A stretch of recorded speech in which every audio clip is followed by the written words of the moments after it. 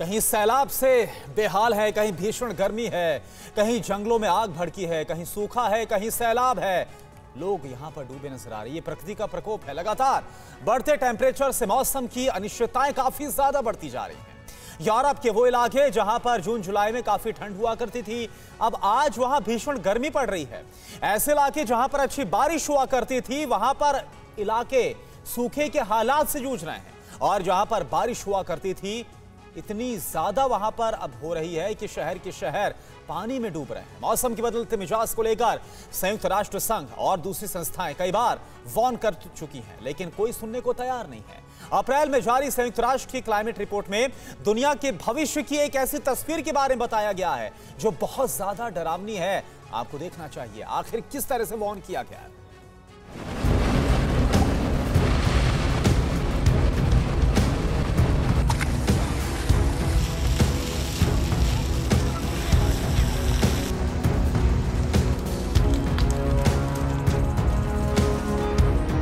मौसम में तेज़ी से होते बदलाव, खतरा थर्ड वर्ल्ड वॉर से बड़ा है।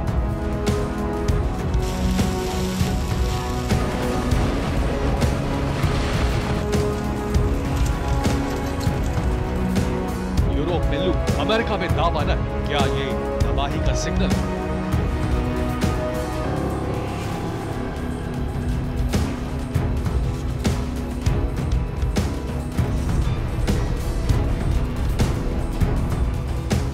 सावधान ये जलवायु का आपातकाल है।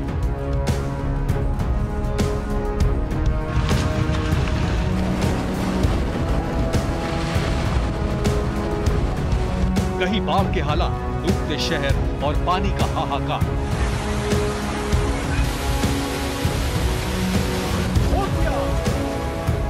कहीं भीषण गर्मी, रिकॉर्ड तोड़ता तापमान और जंगलों में फैली भयानक आग।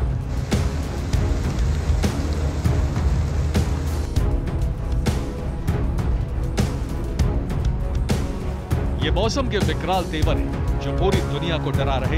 एक ही वक्त में धरती के कई हिस्से गर्मी से तप रहे तो कहीं आसमान से गिरते पानी ने जल प्रलय बचा रखी। धरती तबाही के सिग्नल दे रही है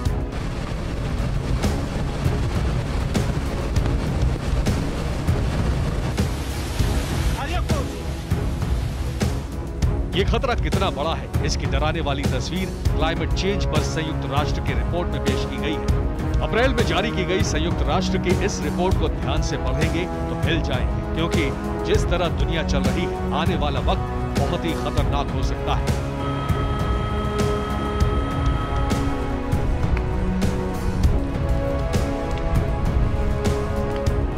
रिपोर्ट के मुताबिक, अगर स्थितियाँ जैसे चल रही हैं, वैसे ही चलती रही तो आने वाले साल धरती के लिए कई नई आफत लेकर आ सकते हैं। इस रिपोर्ट में लिखा है खतरनाक आपदाओं की संख्या 40 परसेंट की रफ्तार से बढ़ने का खतरा। है रिपोर्ट के मुताबिक, साल 2030 तक दुनिया को हर साल करीब 560 विनाशकारी आपदाओं का सामना करना पड़ेगा। ये कितना खतरनाक है, इसका अंदाज़ा आप इस बात से लगाइए कि 2015 में विनाशकारी आपदाओं की संख्या करीब 400 थी।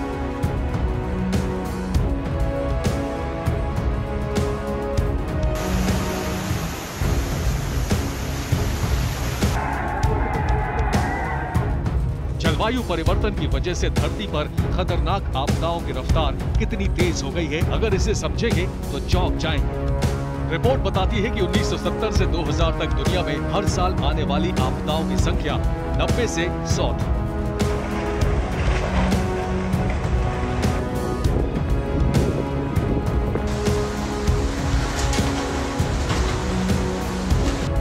में यह भी बताया गया है कि ग्लोबल वार्मिंग की वजह से मौसम में हो रहे खतरनाक बदलावों से धरती पर कैसी कैसी आपदाएँ बढ़ेंगी। जंगलों में भयानक आग लगने की घटनाएँ बढ़ेंगी। बाढ़ जैसी आपदाओं में बढ़ोतरी होगी। इसके साथ ही महामारी में इजाफा होगा। यही नहीं केमिकल एक्सीडेंट जैसी तबाही लाने वाली खतरनाक आपदाएँ होंगी। संयुक्त राष्ट्र की रिपोर्ट में चेतावनी दी गई है कि अगर दुनिया भर के देशों ने कोयले तेल और गैस से होने वाले उत्सर्जन में भारी कमी नहीं की तो ग्लोबल वार्मिंग के विनाशकारी असर से धरती पर तबाही आ जाएगी। रिपोर्ट में बताया गया है कि 2010 से 2019 के बीच जितना खतरनाक कार्बन उत्सर्जन हुआ है, वैसा मानव इतिहास में कभी नहीं हुआ।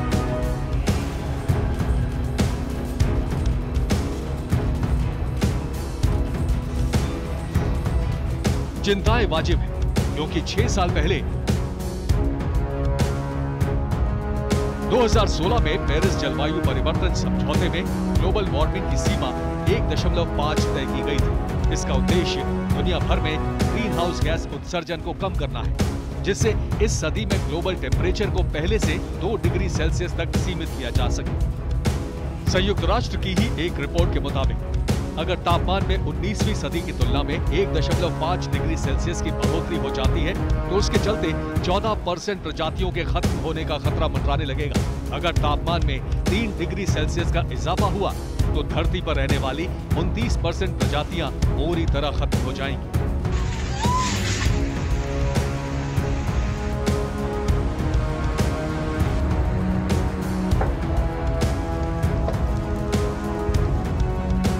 भी चौंकाने वाली बात है कि तेज़ी से बढ़ते कार्बन उत्सर्जन की वजह से 19वीं सदी के बाद से धरती का तापमान एक दशमलव एक डिग्री सेल्सियस बढ़ चुका है।